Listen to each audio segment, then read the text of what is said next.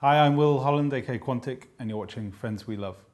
And love, only thing that's promised to my heart.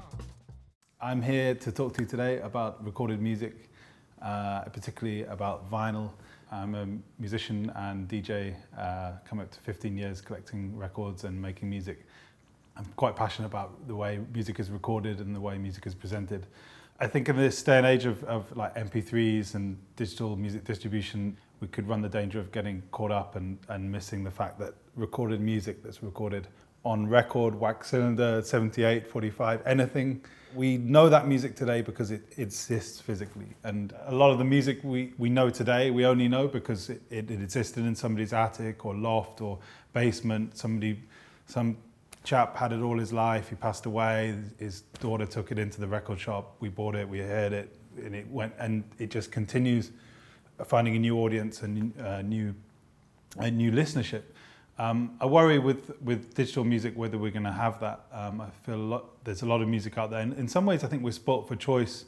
Anyone can make a record now, which is a fantastic thing. It's a uh, gives a lot of power and independence to musicians who otherwise might not have the opportunity to make music. But at the same time, I think we're losing the craft and the, the art of record production.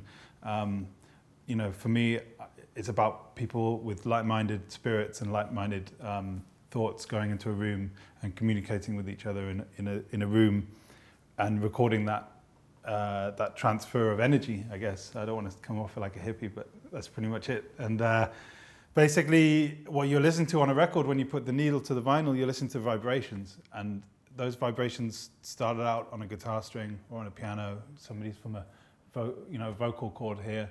And, uh, and that basically got transferred through recording equipment, through microphone diaphragms, eventually through to vinyl. And that's what you hear when it comes out of your speakers. I'm Will Holland, aka Quantic, and that was my 120 seconds procrastinating about record collecting. And love, only thing that's promised to my heart. The only thing that's hard to embrace. Only thing that make life worth living. Seems love is here to stay. Seems love, love is here to stay.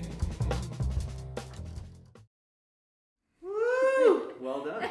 All right. Very well done. Okay, good. it's because I didn't have to do any faux American drops like yo yo, you know, that sort of stuff doesn't go down with an English accent.